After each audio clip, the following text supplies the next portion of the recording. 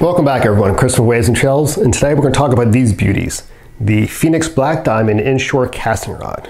When I moved to California, I wanted a saltwater rod that can kind of do it all, and I found it actually. I was surprised I actually found a rod that could do it all. This is the Phenix Black Diamond, seven and a half foot medium action, 15 to 40 pound rod. This is the first Black Diamond I bought. I bought these about four years ago, and this was a great rod. This was a, was a rod I used for um, sturgeon. This is a rod I use in the bay for shark. I use it for uh, stripers and anything I can get my uh, my line in the water for. This was a great rod at the time. I paired it with the Shimano Tekota, an 80 pound braid.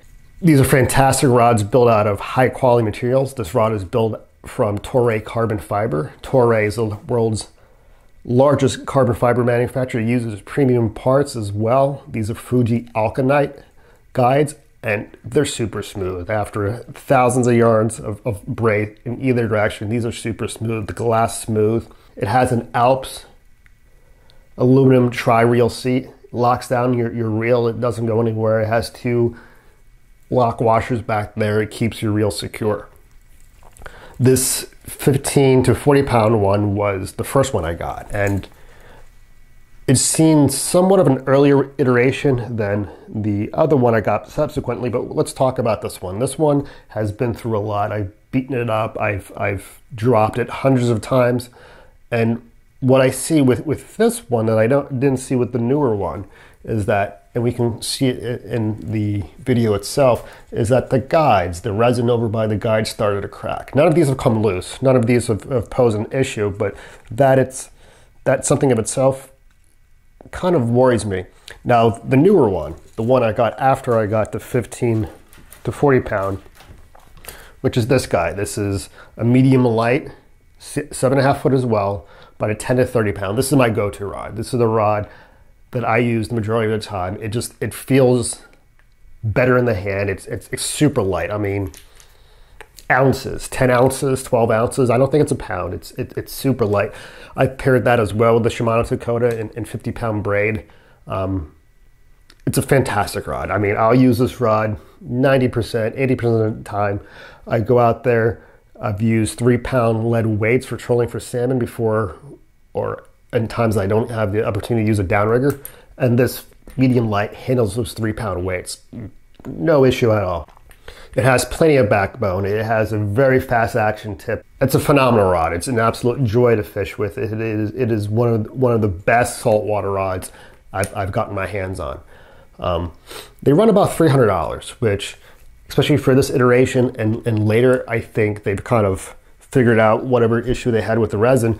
But this iteration or later is a fantastic rod. Like I, like I said, I've used this rod more than I have with the 15 to 40 and you can see we'll, we'll do some side-by-side comparison that the guides themselves are glued a little differently on the newer rod but we don't have any of that cracking in the resin that was uh, obvious on, on, the slightly older rod, which is surprising because I've used this rod more under more extreme conditions.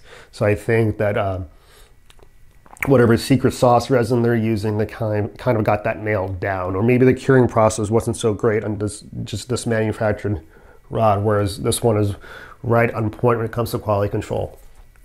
Like I said, these rods run about $300. They're fantastic rods. I personally think if I had to do it over again, I wouldn't do the Shimano Tekotas. These are these aren't a bad reel. Oh, when we're talking about how thin the rod is, this pen is thicker than the rod, right past the first eyelet. That gives you an idea of how thin this rod is. 15 to 30 pound weight, and it's that pen is thicker than that rod. Back to the reel, I don't think if I given given a choice, I wouldn't do the Shimano Tekotas again. It's not that it's a bad reel. It's not a great reel. I don't love these reels. I think these reels are good. They're a decent reel.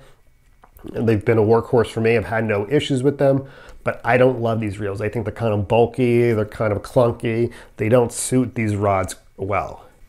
There are better reels out there. Of course, a better reel commands a higher price. These rods themselves are about $300, which I think is a steal.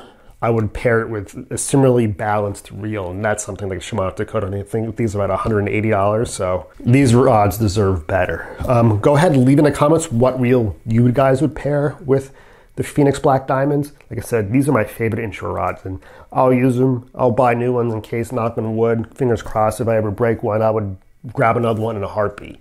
Um, I'll probably be looking to upgrade the reels later on this year, maybe for next next season, get something a little better. I mean, like I said, Shimano Tekota is not a bad reel. It's just not my favorite reel, and I like Shimano reels. In the comment section below, leave any reel recommendations you may have. If you like this video, give it a thumbs up. Don't forget to hit subscribe. Click over here to see more, and I'll see you guys next time.